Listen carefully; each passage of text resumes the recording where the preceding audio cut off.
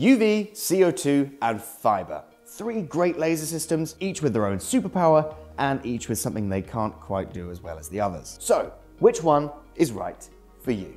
We're going to kick off with UV. UV lasers are the ideal solution for marking because they use something called cold processing. The shorter 355 nanometer wavelength of UV causes it to break down the chemical bonds of the material that you're marking, a process that crucially doesn't cause it to heat up. It actually changes the material on an atomic level. UV lasers can mark almost anything, especially glass. They can even change the color of silicone without any ablation. Look at the tiny gaps in between the grapes in this logo. The detail and accuracy is astonishing. And there's something else. The human finger can feel about one one thousandth of an inch.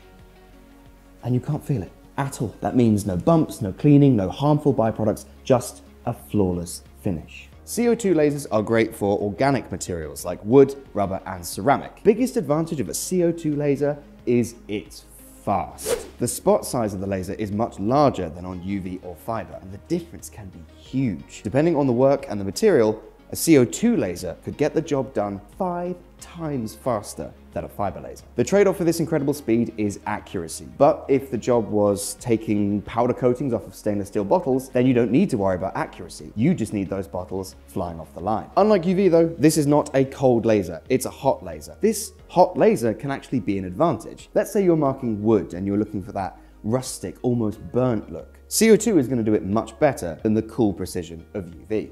Fiber lasers are ideal for marking and engraving metals. They're extremely accurate, so you might see these put to work on marking something like a QR code even onto a metal plate. They are very efficient at converting light into energy, about 50% more so than CO2 lasers, and so they have a low power consumption despite their incredible output. I should say, the efficiency that we're counting here is what you would call wall plug efficiency.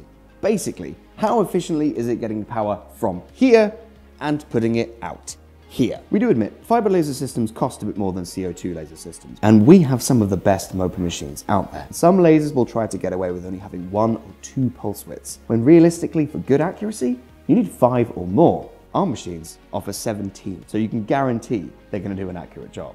They're durable too. A good fiber laser, as long as it's properly maintained, could be a solid workhorse for over 10 years. CO2 is great for organic materials, but does struggle a bit with metals and doesn't have the accuracy or longevity of UV or fiber.